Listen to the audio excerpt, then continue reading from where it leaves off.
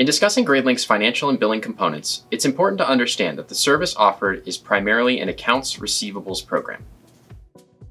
It gives the administration the opportunity to program in different fees and transactions related to family or student accounts, and then communicate that information to families when they log in, or utilize the input data to generate internal reports.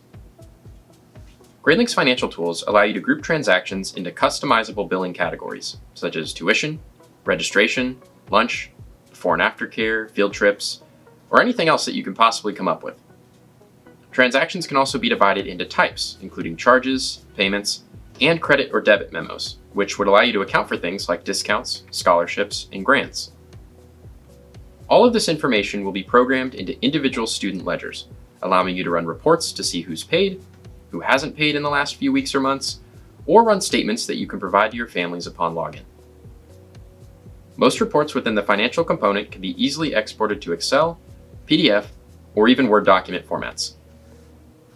Fees can be input into a student's ledger in a variety of ways. For individual one-time fees, you can simply input the transaction onto that student's ledger directly.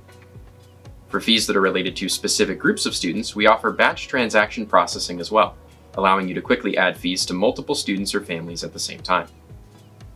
Fees can also be automated via the contracts section at the top of the page.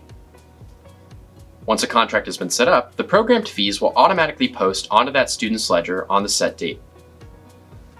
Recurring daily fees, such as transactions for school lunch or after school care, can be tied into the attendance section, allowing for appropriate charges to automatically apply to the student's ledger once the value has been selected on the attendance sheet.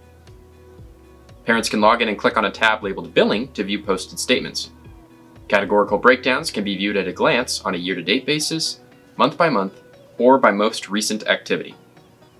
Clicking on any one of these links downloads a copy of the statement onto the parent's device, giving them a more detailed breakdown of when specific charges were incurred on their account.